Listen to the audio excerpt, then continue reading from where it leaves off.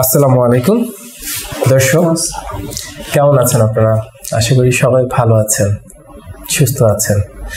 প্রচণ্ড গরম এবং পাশাপাশি জ্বর, ঠান্ডা কাশি খুব ছড়িয়ে পড়েছে এবং এই সময়টাতে করোনার প্রাদুর্ভাব আবারও বিস্তার লাভ করছে। সবাই একটু সতর্ক থাকুন, সাবধানে থাকুন। প্রয়োজন ছাড়া বাসা থেকে বের না হওয়ার জন্য অনুরোধ করছি সবাইকে। দর্শক পিএলআইডি অলরেডি আপনারা যারা আমাদের পুরাতন পেশেন্ট বা দীর্ঘদিন যাবৎ যারা স্যারের ফলোয়ার তারা দেখেছেন পিএলআইডির ভয়াবহতা। এটা এমন একটি সমস্যা, যদি আপনি সঠিক চিকিৎসা করেন, আপনি আজীবন ভালো থাকবেন। বাট যদি আপনি চিকিৎসা না করেন, দুর্বিষহ হয়ে উঠবে জীবন। একদম নরক যন্ত্রণা যাকে বলে। এরকম হাজারো মানুষ আছেন, বছরের পর বছর তারা এই নরক যন্ত্রণা সহ্য করেছেন। বাট যেই মুহূর্তে তারা সঠিক চিকিৎসাটা পেয়েছেন। আমি কথাটা আরেকবার রিপিট করছি। যেই মুহূর্তে তারা সঠিক চিকিৎসাটা পেয়েছেন, জীবন সম্পূর্ণ বদলে গেছে। জাহান্নাম থেকে জান্নাতে রূপান্তরিত হয়েছে। তাদের কথাগুলি কিন্তু আপনারা শুনেছেন, দেখেছেন। চিকিৎসার পরবর্তী অবস্থায় এসেও তারা রিভিউ দিয়েছেন। এরকম হাজারো ঘটনার সাক্ষী আপনারা। ঠিক তেমনি আরেকজন ভাইকে আজকে আপনাদের সামনে হাজির করেছি। সেই একই জিনিস পিএলআইডি জীবন প্রায় দুর্বিষহ করে তুলেছিল। বাট চিকিৎসা নিয়েছেন ভালো আছেন। আসলে কি ভালো আছেন? আসলে দর্শক কথা বলি কি কি হয়েছিল? কিছু ব্যক্তিগত কারণে আমরা আসলে ওনার ফেসটা আপনাদের সামনে ডিসকাস করছি না বাট উনি ওনার ডিটেলস আপনাদের সামনে একটু শেয়ার করবেন সেটার জন্য আসলে আশা আসেন দর্শক একটু ওনার সাথে কথা বলি। আসসালামু আলাইকুম। ওয়ালাইকুম আসসালাম। স্যার কেমন আছেন আজকে? আলহামদুলিল্লাহ আল্লাহ ভালো ছদ্ম নাম যে কোনো একটা নাম। স্যার নামটা কি? নীরব। নীরব। আচ্ছা বয়স হচ্ছে উনত্রিশ বছর বয়স। আচ্ছা আমরা জানি যে আপনি প্রবাসে ছিলেন কোরিয়াতে। দীর্ঘদিন যাবৎ কোরিয়াতে ছিলেন। কি ধরনের পেশার সাথে জড়িত ছিলেন ওখানে? আমি মূলত মেশিনারি পেশার সাথে জড়িত ছিলাম দাঁড়ায় মেশিনের সামনে দাঁড়ায় পার্টস তৈরি করতে হতো। আচ্ছা দীর্ঘ সময় কত সময় ধরে কাজ করতেন? এগারো ঘণ্টা দৈনিক এগারো ঘণ্টা দাঁড়ায় দৈনিক এগারো। ঘণ্টা। মানে অনেকটা সময়। আসলে প্রবাসের সবাই আসলে এইভাবেই তারা কঠোর পরিশ্রম করেন এবং দাঁড়িয়ে বলেন বসে বলেন যেভাবে হোক তারা অনেক কঠোর পরিশ্রম করেন। এটা আমরা জানি। তো আমরা জানি যে আপনি ডক্টর মোহাম্মদ শফিউল প্রধান স্যারের কাছে ট্রিটমেন্টের জন্য এসেছিলেন। জি। কি হয়েছিল? আমার মূলত দীর্ঘ সময় কাজ করতাম। হঠাৎ দেখে একদিন আমার পায়ে পায়ের দিকে ঝিনঝির করে ব্যথা শুরু হয়েছে হঠাৎ? হঠাৎ করে। মানে দাঁড়িয়ে কাজ করছেন হঠাৎ করে দেখছেন পায়ের দিকে ঝিনঝিন ঝিনঝিন। যেটা ইতিপূর্বে ঘটেনি। না আরও তিন সাড়ে তিন বছর আগে। হুম হুম হুম। হয়েছে পরে একদিন দেখলাম পরে কিছুদিন যাবত দেখছি সেম প্রবলেম হইতেছে। তারপরে ডাক্তার দেখাইলাম ওনার মেডিসিন দিল। এক্স রে করল এক্স রে কোনো কিছু সমস্যা নাই। পরে থেরাপি দিলাম সমস্যা নাই। দেখছে আবার ভালো থাকে আবার কিছুদিন সেম প্রবলেম একবার এমআরআই করে দেখলাম যে আমার পিএলআইডি সমস্যা। আচ্ছা এই যে বলছেন যে পায়ে ঝিনঝিন করে এটা আসলে আমাদের অনেকেরই কম বেশি করে। মানে জিনিসটাকে এমন যে সহনীয় পর্যায়ের বাইরে চলে গিয়েছিল এই জন্যই আপনি ডক্টরের কাছে বারবার যাচ্ছিলেন। জি জি শুধু কি পায়ের দিকে ঝিনঝিন হচ্ছে? মানে কোমরে কি কোনো ব্যথা বা কোনো কিছু অনুভব করতে হ্যাঁ কোমরে হয়তো কোমরের থেকে পায়ের দিকে নেমে যাইতো ব্যথাটা। আচ্ছা প্রথম শুরু হতো কোমরে? কোমরে। কিছুক্ষণ পর সেই ব্যথাটা দেখছেন পায়ের দিকে নেমে যাচ্ছে। ঝিনঝিন করছে মানে যেটা প্রায় আপনাকে অস্থির করে তুলতো। আপনি দাঁড়িয়ে থেকে যে কাজটা করা সেটা করতে পারতেন না। জি। একটানা কিছুক্ষণ বসতে হতো রেস্ট নিতে হতো তারপরে আবার কাজ করতেন। আচ্ছা তখনই যখন দেখছেন যে এটা প্রবলেম তখন ডক্টরের কাছে গেলেন। এবং উনি আপনার একটা এমআরআই করলেন। এমআরআই করে সেখানে কি ধরা পড়ল? পিএলআইডি সমস্যা। আচ্ছা সেটা কত বছর আগে ধরা পড়েছে? তিন বছর আগে? তিন বছর আগে। আচ্ছা সেটার জন্য ওনার কি ধরনের ট্রিটমেন্ট দিয়েছিলেন আপনাকে?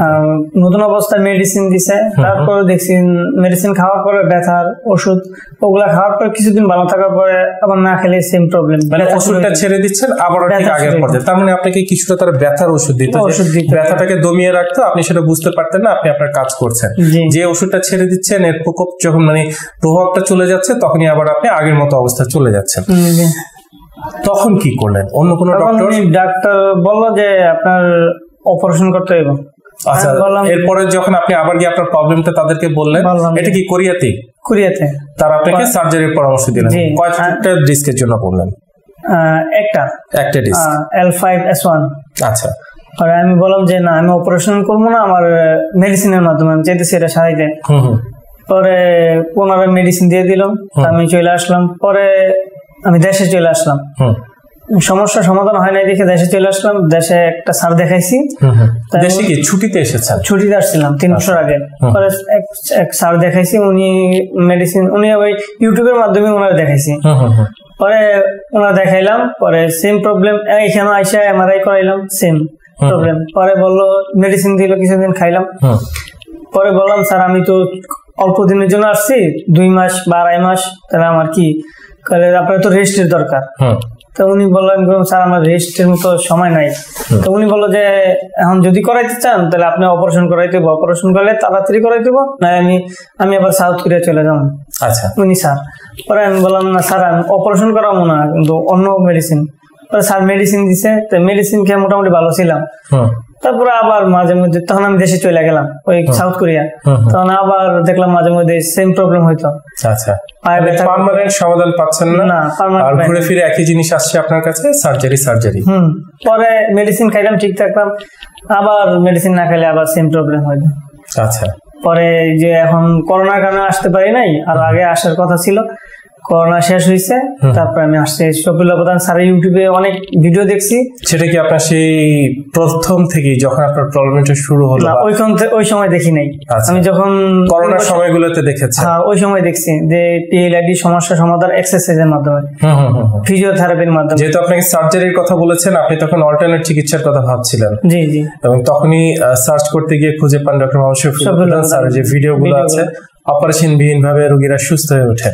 আচ্ছা তো দেখার পরে কিছুটা আশার সঞ্চার হলো। মনে কিছুটা সাহস পেলেন। কিন্তু আসতে পারছিলেন না সময় সুযোগ সময় সুযোগ পরে আরও আমার দুই বছর আগে আসার কথা ছিল। করোনার কারণে আসতে পারেনি। যখনই সুযোগ পেয়েছেন সরাসরি চলে চলে এসেছেন। প্রথম যখন স্যারের মুখোমুখি স্যার দেখলেন আপনাকে সবকিছু। কি বলেছিলেন স্যার? স্যার বলছে যে স্যার কাছে কোনো সমস্যা নাই? পিএলআইডি পনেরো দিনের এডমিশন লাগবো। এই যে এইটুকু তো আমরা একটু থামি। যে যেখানে আপনি ডক্টরের কাছে যাচ্ছেন আপনাকে বারবারই বলছে দীর্ঘমেয়াদী চিকিৎসা অথবা আপনাকে সার্জারি সার্জারি সার্জারি এর বিকল্প নেই। অথচ এখানে আপনি সম্পূর্ণ ভিন্ন একটা চিত্র দেখছেন। খুব সহজেই সাবলীল ভাষায় আপনাকে বলল যে কোনো ব্যাপার না মাত্র পনেরো দিন আপনি থাকেন। আপনি বিনা অপারেশনে আপনি ইনশাল্লাহ সুস্থ হয়ে কেমন লাগতেছে? তখন একটু সাহস পাইছি। আলহামদুলিল্লাহ অপারেশন অপারেশন তো জানেন একটা মানুষের লাইফ অর্ধেকটাই নষ্ট হয়ে যায়। সেটাই। একটা কোমরটা এলো পুরা শরীরে একটা মেরুদণ্ড একবারে মানে কোমরটা না থাকলে মানে মানুষটা পুরো অচল। আচ্ছা ওই কারণে একটু সাহস পাইলাম পরে স্যার ট্রিটমেন্ট শুরু হয়ে গেল। জি স্যার বলে ভর্তি হয়ে ট্রিটমেন্ট শুরু করব এই যে দীর্ঘদিন চিকিৎসা করিয়েছেন এত ডক্টরের কাছে গিয়েছেন। এই চিকিৎসাটা যদি সেই প্রথমে পেতেন, আপনার কি মনে হয় না জীবন থেকে এত সুন্দর সময়গুলো কখনো চলে যেত না? জীবনটা আরেকটু অন্য, অন্যরকম হতে পারত? জি, শুরুতে যদি জানতে পারতাম, এরকম আর সোনালী দিনগুলো এভাবে চলে যেত না এত কষ্টের ভিতর কষ্টে ভুগতে হইতো না আমার তখন কি মাঝে মাঝে মনে হতো না আমি কি পঙ্গু হয়ে যাব আমি কি আর সুস্থ হব না সারা জীবন কি আমার এইভাবেই কাটবে এরকম দুশ্চিন্তা যখন দেখতাম যে এরকম অবস্থা তাহলে একটা মনের মতো ভয় কাজ করতো যে এরকম ভয় পঙ্গুত্বের দিকে যায়। শুনতাম যে বেশি সময় যখন লং টাইম হয়ে যায় তখন মানুষ আস্তে আস্তে পা অবশ হয়ে যায়। তখন মানুষ পঙ্গুত্ব বরণ করে। ওই ওইটা তখন একটু ভয় লাগতো। অসংখ্য দর্শক আছেন, যারা হয়তো জানেন না, যাদের কাছে তথ্য পৌঁছায়নি। অনেক গরিব রোগী আছেন, যারা হয়তো জানেন না কোথায় গেলে তারা ভালো চিকিৎসা পাবেন, যাদের হয়তো জীবনে একবারে চিকিৎসা করার ক্ষমতা আছে। আমার সেই সকল ভাই বোনদের জন্য যদি কিছু বলেন। আলহামদুলিল্লাহ, আমি যারা এই পিএলআইডি রোগে ভুগতেছেন, আপনারা এদিক সেদিক ঘোরাফেরা না করে যদি শফিউল্লাহ স্যারের একটা ভিডিও দেখেন তাহলে বুঝতে পারবেন যে সার্জারি থেকে থেরাপিটা কত ভালো। আপনারা একটু দয়া করে, একটু কষ্ট হইল, একবার ভিডিওটা দেখেন, আর স্যারের সাথে এসে একবার হইল সাক্ষাৎ করেন, তাহলে বুঝতে পারবেন। ধন্যবাদ আপনাকে। দর্শক, শুনলেন? আরও নিয়ে আসবে, এরকম আরও হাজার হাজার মানুষ, ইনশাল্লাহ। আল্লাহ যদি বাঁচিয়ে রাখেন, আল্লাহ যদি আমাদের ডক্টর মোহাম্মদ শফিউল প্রধান স্যারকে নেক হায়াত দান করেন, এবং উনি যদি সুস্থ থাকেন ওনার হাত ধরে, আল্লাহ চাহে তো। এরকম অসংখ্য রোগী ফিরে আসবেন সুস্থতার জীবনে। এইভাবে বুকে আনন্দ নিয়েই তারা বলবেন হ্যাঁ ভালো আছি আমরা, আজকে সুস্থ আছি। আপনারাও আসুন। আমাদের নিজেদের জীবনে যখন ভালো কিছু ঘটে, আমরা সবসময় চাই সেটা অন্যের সাথে শেয়ার করতে, আমার কাছের মানুষদের সাথে শেয়ার করতে। কারণ কষ্টটা তো আমি বুঝি যে আমি সেই কষ্টটা পেয়েছিলাম। আমাকে যখন ওই যে একটি কবিতা আছে, কহু আসে বিষয়ে দংশিনী যারে আসলেই কিন্তু সাপের বিষের যারা সেই বুঝতে পারে যে সেটা পেয়েছে। দর্শক, সুস্থতার দিকে আসুন, সুস্থ হয়ে বেঁচে থাকুন, অসুস্থ হয়ে বিছানায় পড়ে থেকে শুধু শুধু দোয়া প্রার্থনা করে লাভ নেই। সুস্থ হন, চেষ্টা করুন। এবং অন্য যারা আছে, তাদেরকেও সুস্থ হতে সহায়তা করুন। ভালো থাকবেন, সুস্থ থাকবেন। আসসালামু আলাইকুম।